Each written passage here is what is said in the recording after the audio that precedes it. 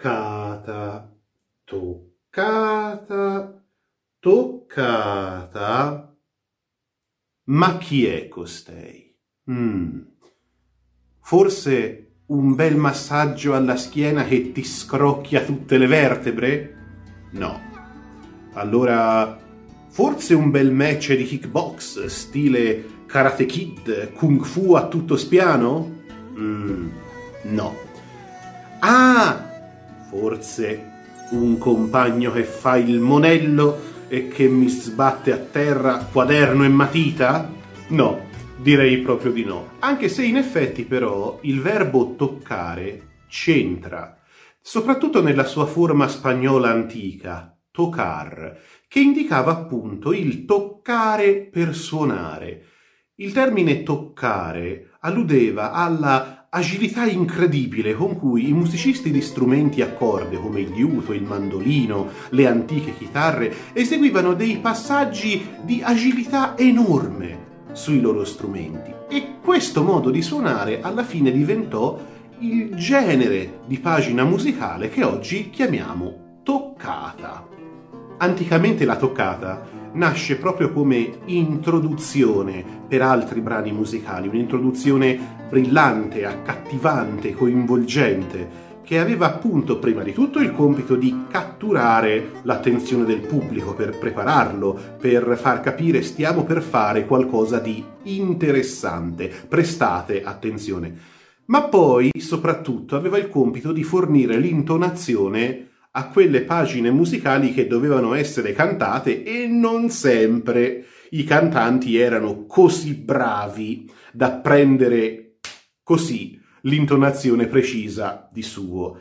Ecco perché soprattutto a partire dal 1400 circa la toccata trova un grandissimo utilizzo nella musica sacra, nella musica che si suonava in chiesa durante i momenti di preghiera. Serviva certamente a creare l'atmosfera, a sottolineare certi determinati momenti della liturgia, a suscitare un certo stato d'animo, ma serviva anche e soprattutto per evitare che il coro facesse certe figurette, ecco come questa.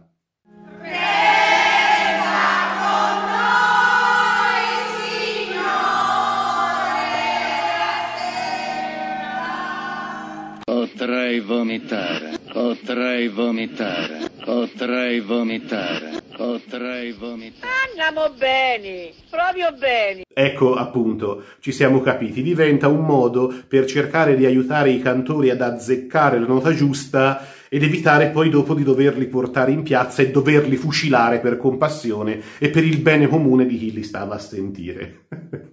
Ora, se noi andassimo a qualcuno magari un po' più grande, un po' più amante della musica, ma neanche più di tanto, non è che deve essere un esperto, e chiedessimo ad una persona più grande mi fai un esempio di toccata? Se ti dico la parola toccata, cosa ti viene in mente? E sicuramente quasi al 100%, se non c'è il buio totale nel suo cervello, l'esempio che gli viene in mente sarà questo.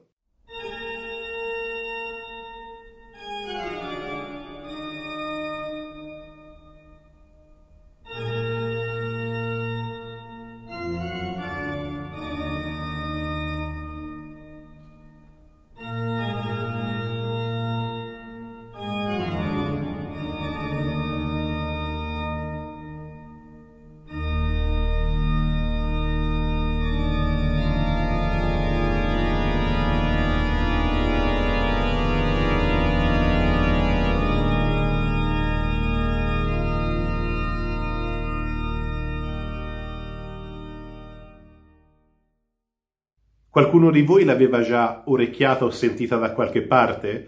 Eh, perché in effetti questa è la famosa toccata e fuga.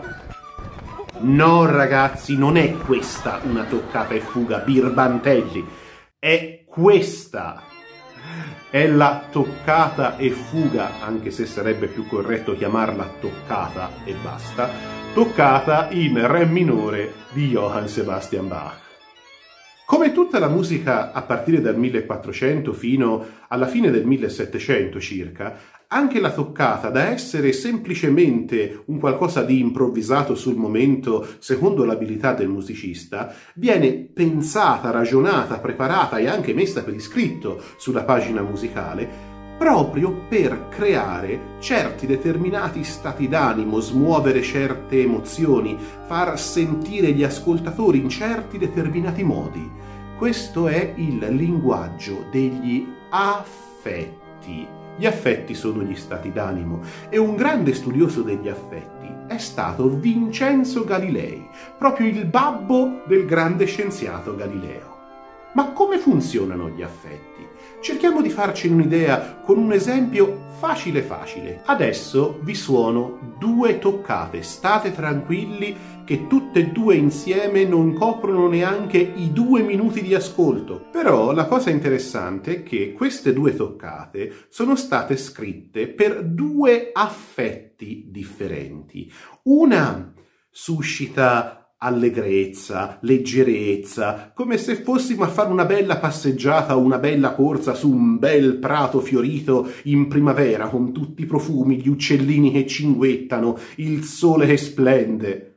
L'altra invece non dico che sia seria, però è molto più severa, molto più composta, come dire, vedete il maestro serio che alza l'indice che gira lo sguardo e vi dice zitti tutti, calma, mettetevi lì buoni e fermi, ora c'è da fare una cosa importante, quindi composti e attenti. Il primo stato d'animo, il primo affetto, è l'affetto della letizia. Questo secondo affetto invece è la ponderazione, il raccoglimento, il davvero mettersi fermi attenti a accogliere qualcosa di importante.